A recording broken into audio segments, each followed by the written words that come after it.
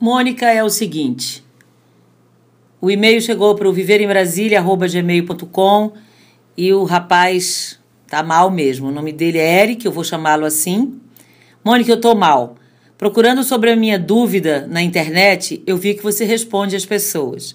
Vi uma garota que engravidou do ex e eu tô aqui para falar da minha vida.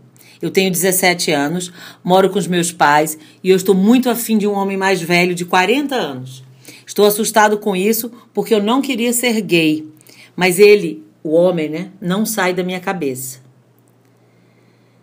Eu estou muito assustado. Você acha que eu devo me obrigar a esquecer isso? E eu posso ser hétero? Eric.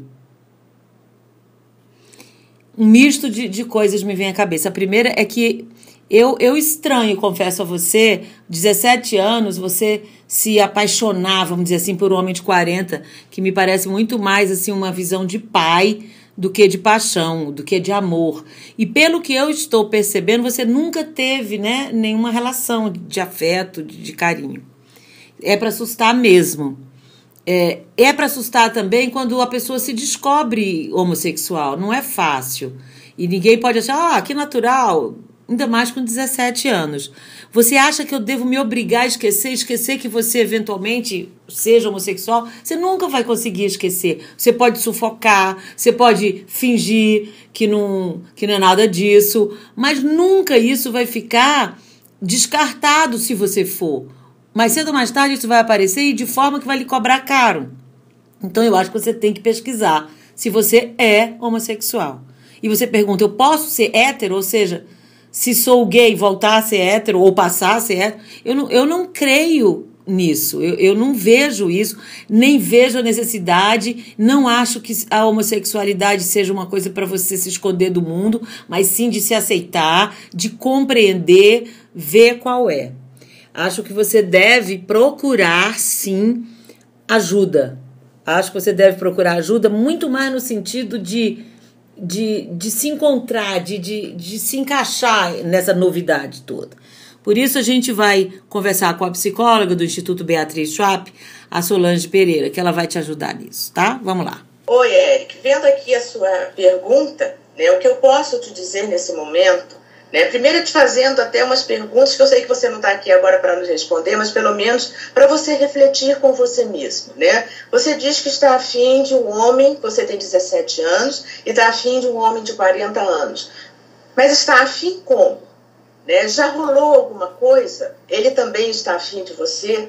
Você já teve interesse por outros homens? Né? Então, são coisas que teria que ter todo um contexto para a gente poder afirmar né, algumas coisas que você pergunta mais adiante. Né? A outra coisa é que você diz se descobrir gay agora. Né? Esse interesse passou a ser agora, e você quer saber se deve esquecer isso. Esquecer o quê? Este homem ou esquecer de que você tem interesse por uma pessoa do mesmo sexo que o seu. Uhum. Né? É, então, boa observação essa. Né, que a gente precisa saber exatamente esquecer o quê? O que eu percebo também é que você está muito assustado ainda com essas novas informações sobre a sua sexualidade.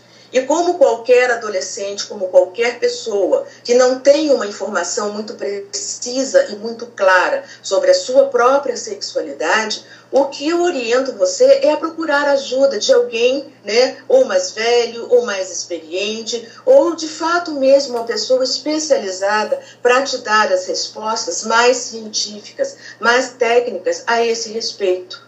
Você pergunta também: ah, eu posso deixar de ser gay e ser hétero? Olha, se você é gay, isso é da sua natureza. Ser gay não é uma doença, como também não é uma opção.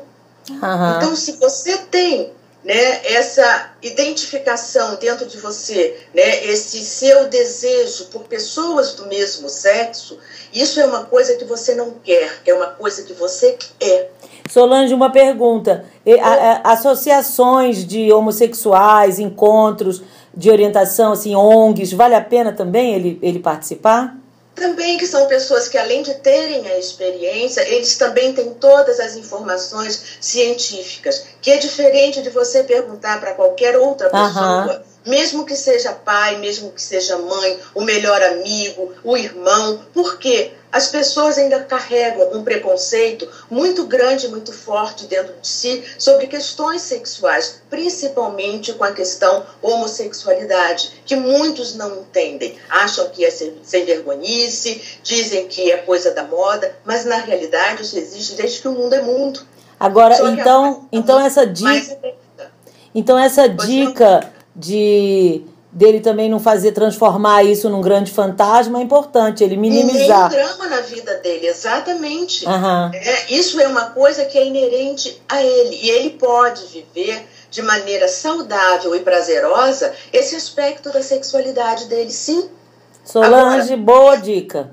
Entrar num relacionamento cheio de dúvidas é que não é uma legal, porque vai gerar muito mais dúvidas, muito mais inseguranças. Então, ele precisa, antes de assumir qualquer compromisso ou qualquer relacionamento, buscar entender de fato o que, que ocorre com ele.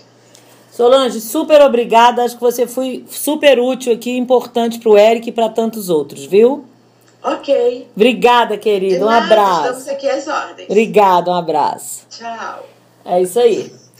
Eric, se liga que ser gay não é um bicho de sete cabeças.